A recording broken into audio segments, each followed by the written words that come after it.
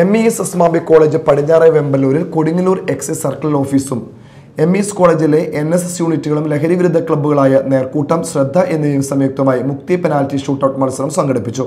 College vice principal doctor Reena മുഹമ്മദും Kodungallur excise circle office excise circle inspector M F Suresh ചേർന്ന് ഉദ്ഘാടനം ചെയ്തു. Thrissur excise division Vimukthi resource പേഴ്സണും civil excise ഓഫീസറുമായ Jathir P M ലഹരി വിരുദ്ധ സന്ദേശം നൽകി.